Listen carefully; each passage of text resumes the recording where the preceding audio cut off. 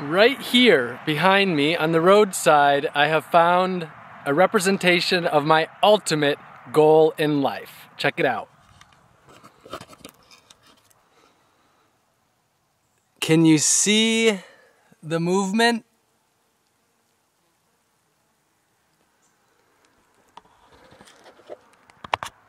This is a fox that is being eaten in the moment by tens of thousands of larvae. And this represents how I want to go. I want to return to the earth, to disappear, and to become new life. Whether that's flies, soil, other animals, I simply want to return to earth just like you see this fox returning right here.